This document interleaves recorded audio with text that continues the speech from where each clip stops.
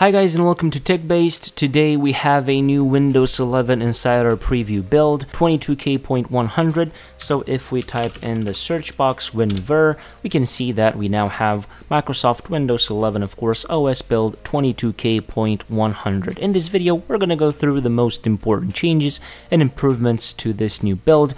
And of course, if you enjoy these videos that I do, don't forget to leave a like down below and subscribe to this channel because every time when Microsoft launches a new insider preview build for Windows 11, we're gonna cover it up on this channel as soon as possible. The first obvious change is that Microsoft started rolling out the chat for Microsoft Teams to insiders from the dev channel but not everyone will see it right away. In my case, I can see it. This is the new chat icon. And if you click it, you are going to see a minimalistic Microsoft Teams where you will be able in the future to do a meeting. As you can see here coming soon, you are able to chat. You can see suggested contacts. And of course, you can open up Microsoft Teams. Another change, the hidden icon flyouts from the taskbar in the right side has been updated to match the new visuals of Windows 11. But as you can see here, is it is not updated so what Microsoft recommends is going to personalize and switch between themes and this should fix it. So I'm just to go and switch to this theme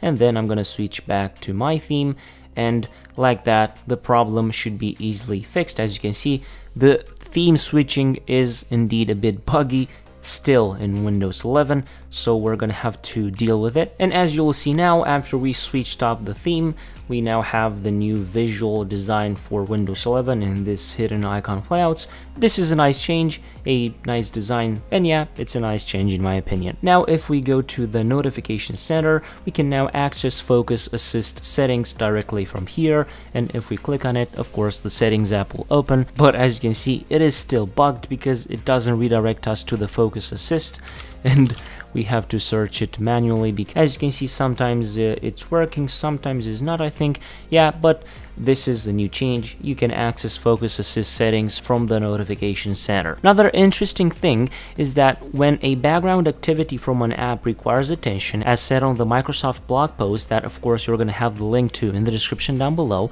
the app will flash on the taskbar to get your attention. In Windows 11, this was updated so that it still grabs your attention but with a calming treatment that minimizes the impact of unwarranted distractions. The subtle flashing eventually stops and you'll see a slightly red backplate and red pill under the app icon, continuing to note a background activity needs your attention.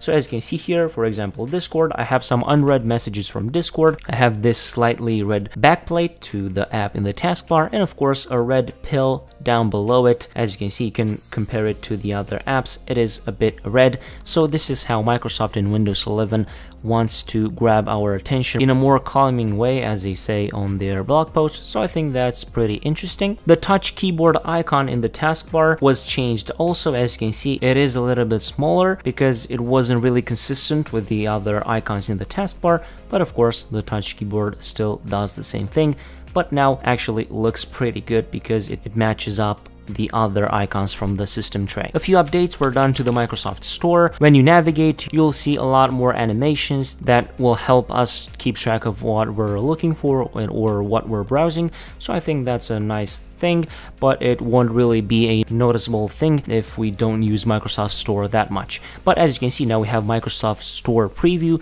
So of course, Microsoft is still working on the Microsoft Store. And now at the end of the video, I'm just to note out a few important fixes from my point of view. One would be from the taskbar, a issue that was causing Explorer.exe to crash when the date and time button on the taskbar was clicked to access new notifications with Focus Assist turned off. That's really important. Added the missing settings icon for the tech context menu entries, and of course they have fixes for all aspects of Windows, for example search, fixes for the positioning of the search window when the taskbar is left aligned, fixes for widgets, and of course other fixes that could be important. As I've said, the link to this blog post from the Windows Insider blog will be in the description down below. Go in there and see if your error or problem was fixed in this new build. And of course, leave a comment down below because I cannot wait to hear from you and um, let me know what you think about this new Windows 11 Insider preview build. And as always, don't forget to like this video if you want me to continue doing these videos.